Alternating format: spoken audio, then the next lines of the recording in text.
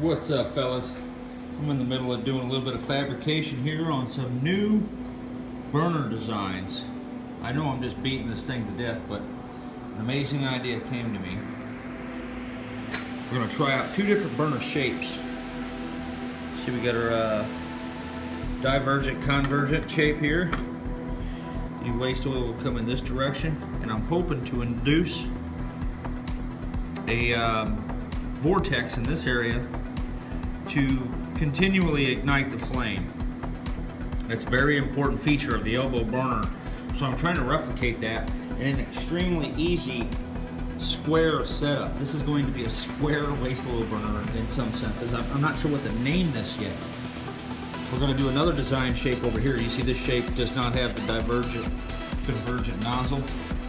Essentially guys, what we're going to do is we're going to run the burner with this high temperature glass plate to observe whether or not we get eddies in these places. And I think this is going to be one of the coolest experiments I've ever done. Unfortunately, I do not have the high-speed cameras needed to really benefit from this little test, but nonetheless, this is going to be pretty freaking cool. I don't know how long this glass is going to hold up, but either way, I think the whole thing is going to be kind of neat.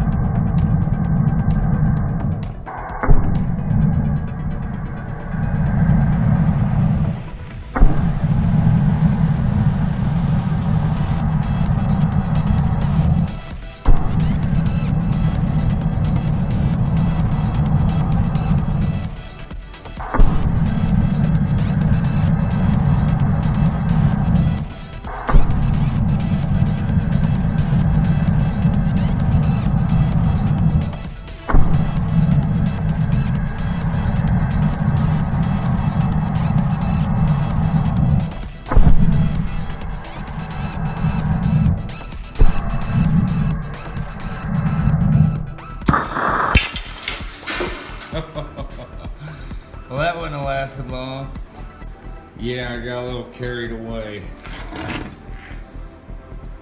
Got glass all over now, but that's all good. Just for science, man. So, it's probably kind of hot. I'm not really able to see much of a swirl until I kick the flame off. When I kick the flame off, then I can see a little burn in there. So, I'm almost thinking about just go ahead and welding this bad boy together and giving it a shot. I think I should, you know what? I'm gonna post that little experiment anyway, just because that was kind of cool.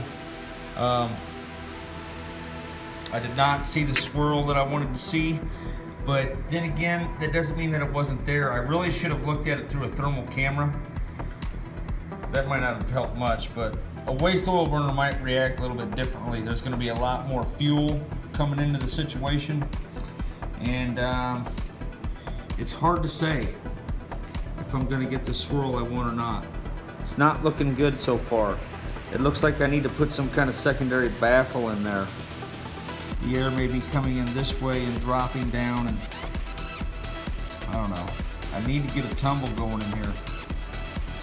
That's my objective. When we can get that vortex of fire going, it will continually reignite the combustor.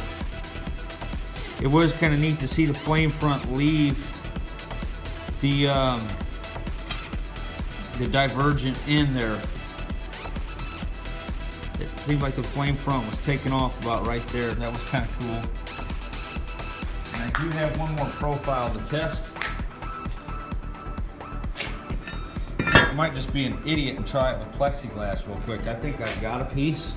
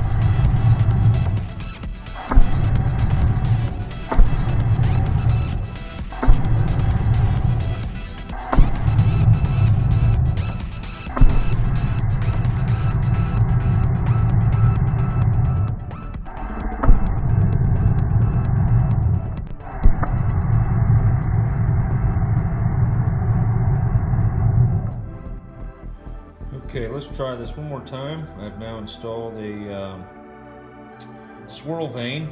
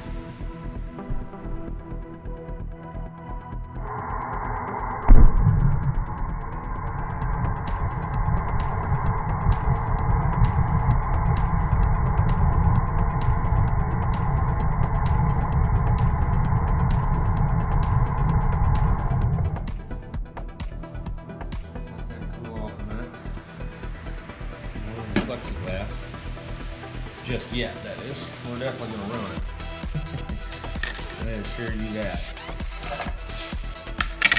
About 20 pieces actually. We can only get a couple seconds of footage before the uh, test stand fails. Eventually I'm gonna weld steel plate on this guys and uh, we're gonna have a pretty cool little burner here. Okay, here goes.